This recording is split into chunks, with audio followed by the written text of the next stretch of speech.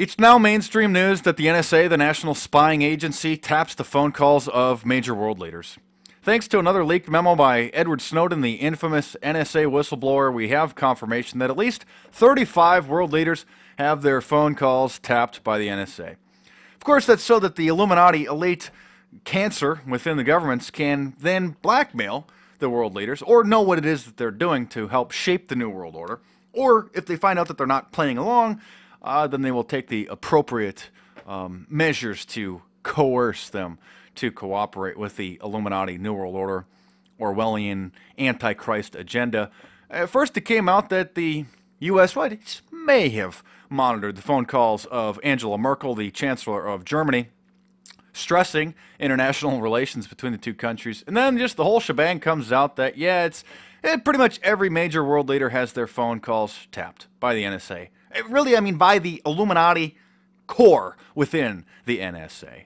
Oh, yeah, just don't worry about it, man. The National Spying Agency, billion phone calls in one month. See, even though this is a confirmation of what most people in the resistance, much of this audience has known, uh, major sources have confirmed this already, but it's finally making it into the mainstream. But what's really going to be hardcore is if someday it's finally revealed in mainstream news, 100% confirmed, that they're not just recording who calls who and the data of the phone records.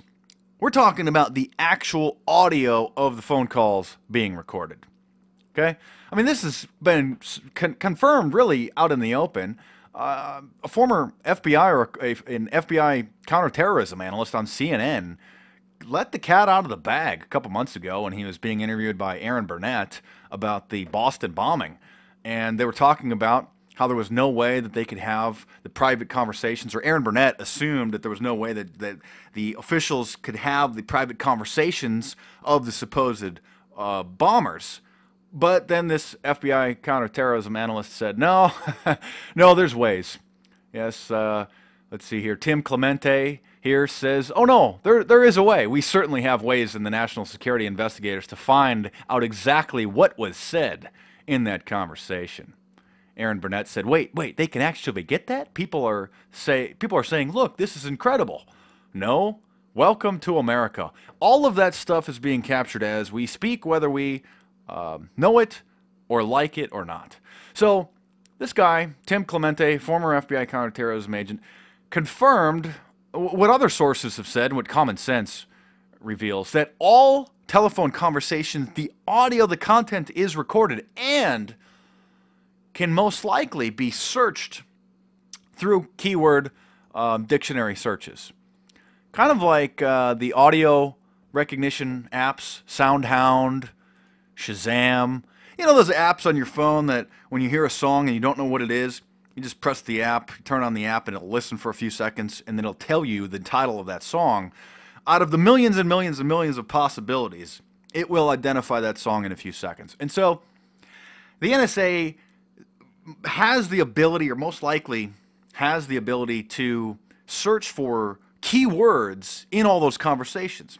So, I mean, for example, you pick a specific politician, and the NSA, the Illuminati controllers, want to find out if they've talked about specific issues ever in the last, I don't know, 10 years, five years since all phone calls have been recorded from everybody in the several yotta bytes of data that is in the NSA's Utah Bluffdale uh, spy facility.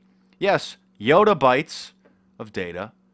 Um, basically, it's like if you stack hard drives from here to the moon, that's how much storage capacity the NSA facility has in Bluffdale. So, using the same kind of technology that these uh, sound identifying apps like Shazam and SoundHound use, the NSA can go and just search the last decade or so of conversations of anybody and find out, hey, let's see, did so and so ever mention the Bilderberg group in a conversation in the last five years?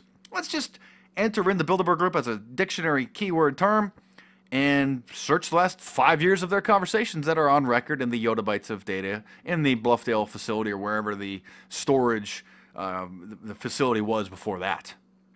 That is going to be the real shocker. I mean, I guess Americans don't really care. They got their TV, they got their cable TV, they got their smartphones. They don't really care. Um, but that's going to be the real hardcore news. I mean, it's not going to get much worse than that. Well, I mean, actually, I guess it is because the they're going to. Oh, I don't even want to get into it here. Thanks for watching. Subscribe to my YouTube channel if you're new. Check out some of the previous videos. We're getting into their ultimate endgame plan.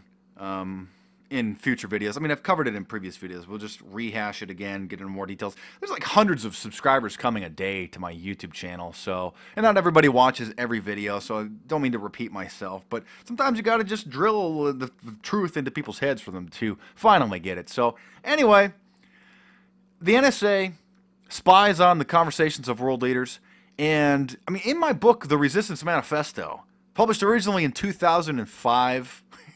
approaching a decade ago.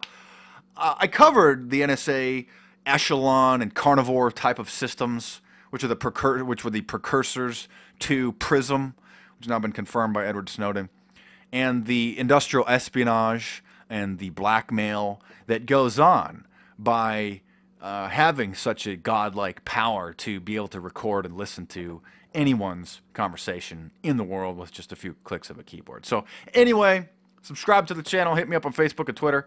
There's more videos coming soon.